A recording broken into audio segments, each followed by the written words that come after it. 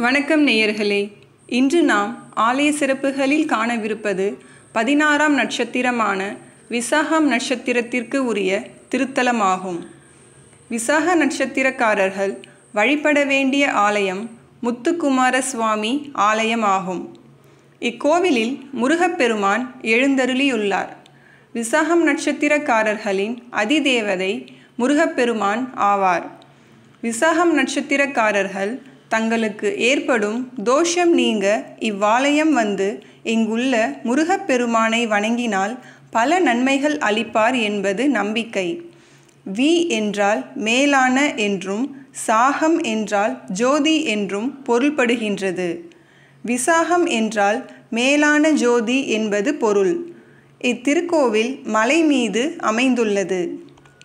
இங்கு அஷ்டபத்ம குலம் ஒன்றும் அமைந்துள்ளது. இங்கு முருகப்பெருமான் வேலுடன் காட்சியளிக்கின்றார். இவரை காண அறுநூற்றி இருபத்தி மூன்று படிகளை கடந்து செல்ல வேண்டும். இவைகளை ஸ்கந்த கோட்ட பித்ருக்கள் உரையும் தேவப்படிகள் என்று உரைக்கின்றனர்.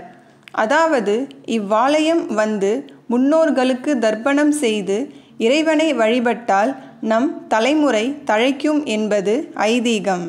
அக்காலத்தில் கேரள எல்லைக்குள் இக்கோயில் இருந்தமையால் கேரள மன்னரின் ஒருவரான பந்தள மன்னர் இக்கோவிலை கட்டியதாக வரலாறு. இதற்கு திருமலை கோயில் என்றும் பெயர் உள்ளது. எனவே விசாகம் நட்சத்திரக்காரர்கள் தங்கள் வாழ்நாளில் ஒரு முறையேனும் இவ்வாலயம் வந்து இங்குள்ள இறைவன் முத்துக்குமார சுவாமியை வணங்கினால் வாழ்வில் சகல சௌபாக்கியங்களை இறைவன் அருளுவார் என்பது நம்பிக்கை. இத்திருக்கோயில் பன்மொழி எனும் இடத்தில் செங்கோட்டை தாலுக்காவில் திருநெல்வேலி மாவட்டத்தில் அமைந்துள்ளது.